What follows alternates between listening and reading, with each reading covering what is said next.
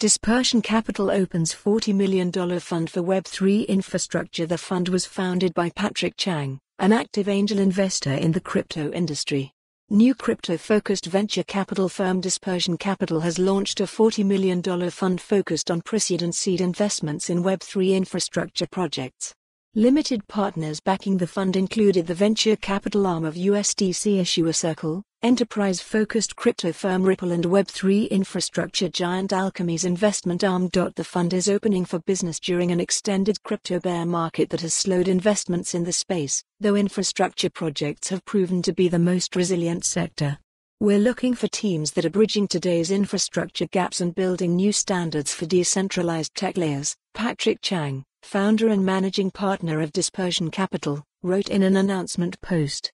Their work will make it possible to create and launch multi chain, multi currency, and multi platform applications. We want to find and fund the fundamental tech layers that make this possible.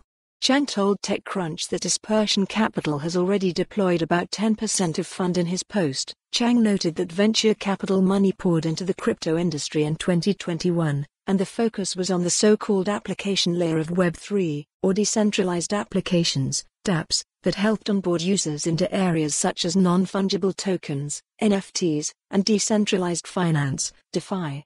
As the bull market gave way to the bear, crypto infrastructure was found wanting. Web3's foundational layer wasn't, and still isn't, ready for billions of users, wrote Chang. Chang's work history straddles Web 2 and Web 3, according follow the URL for the full article for more on this story, visit the news article link.